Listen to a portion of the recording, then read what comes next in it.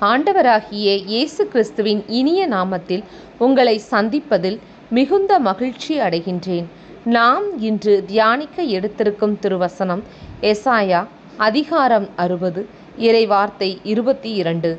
அவர்களுள் சிறியவர் ஓராயிரமாய் பெருகுவர் அற்பரும் ஆற்றல் மிகு மக்கள் இனமாவர்.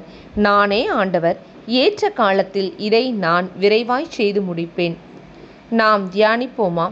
கிறிஸ்து இயேசுவின் அன்பிற்குரிய சகோதர சகோதரிகளே கிறிஸ்து இயேசுவின் அன்பும் சமாதானமும் உங்களோடு என்றும் தங்கியிருப்பதாக.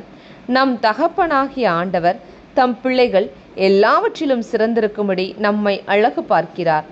எனவே அவர் தம் வார்த்தைகளை பிடித்துக்கொண்டு அவர் வழி நடக்கும்போது அவருடைய இரத்தத்தால் கழுவப்பட்டு விலை கொடுத்து வாங்கப்பட்ட சொந்த பிள்ளைகளாகிறோம்.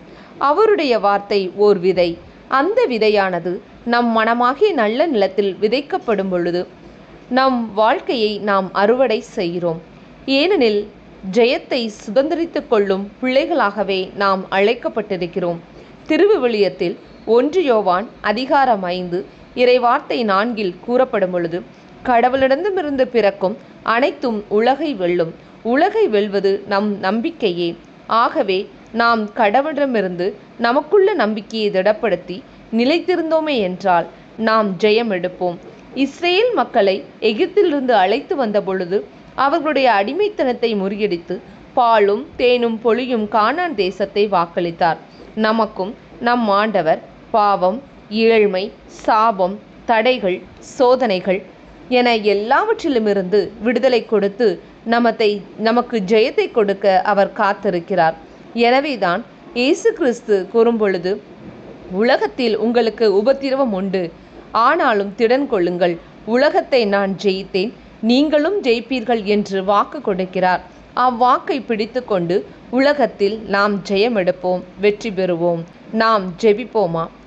எங்களை அளவுக்கு அதிகமாய் நேசிக்கின்ற எங்கள் அன்பின் பரலோக பிதாவே இந்த நாளுக்காக நன்றி செலுத்துகிறோம்.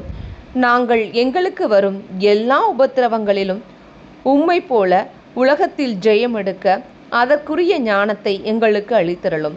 நாங்கள் உம்முடைய மக்கள் என்பதை மற்ற கண்கள் அனைவர் முன்னிலையிலும் எங்களை சிறந்திருக்கும் சடி செய்ய எங்களை தகுதிப்படுத்தும். எங்களை உடைத்து உருமாற்றும் எங்கள் நல்ல தகப்பனே இந்த எளிய ஜெபத்தை இயேசு கிறிஸ்துவின் இனிய நாமத்தில் ஒப்புக்கொடுத்து ஜெபிக்கிறோம் எங்கள் நல்ல பிதாவே ஆமேன். இந்த நாள் இனிய நாளாக அமையட்டும் பிரைசலாட்